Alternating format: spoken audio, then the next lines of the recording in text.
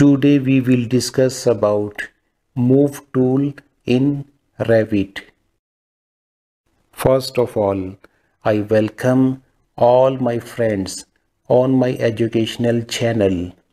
Subscribe my channel and press the bell icon for latest videos. Like and share also. Move tool is used to move selected elements to a new location in the drawing area.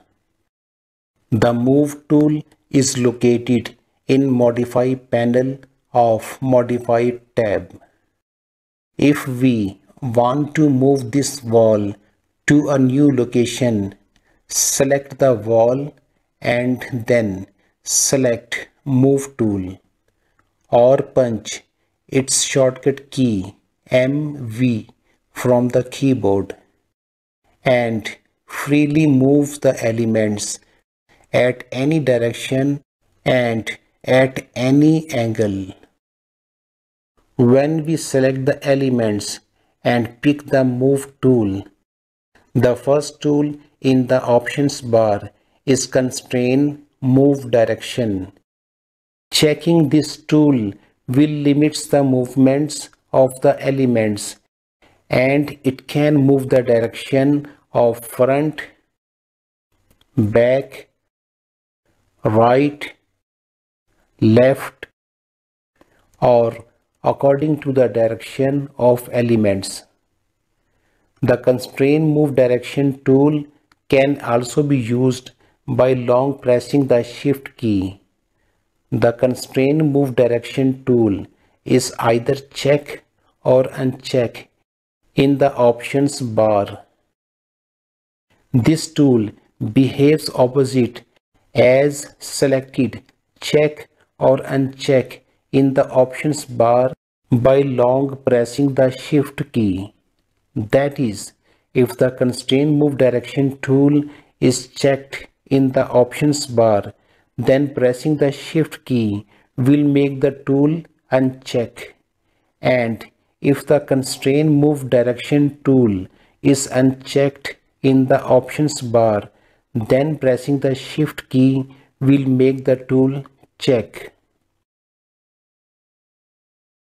By doing this, the window can be easily moved in the wall. But if I want to move this window to an other wall, I have to use Second tool disjoin in the options bar by unchecking the constrain move direction tool. The window will disjoin from the first wall and move to the second wall. By using move tool, the third tool in the options bar is multiple. It copies objects to another location. Normally this option is not active in move tool.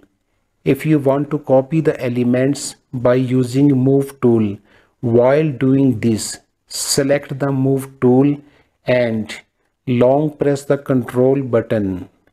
Elements will be copied. If you want to copy multiple elements, check the multiple tool in the options bar. Objects will be copied multiple. So, in today's topic, we have studied the move tool in Revit. I hope you understand it. Stay tuned for more educational videos. BIM Talks.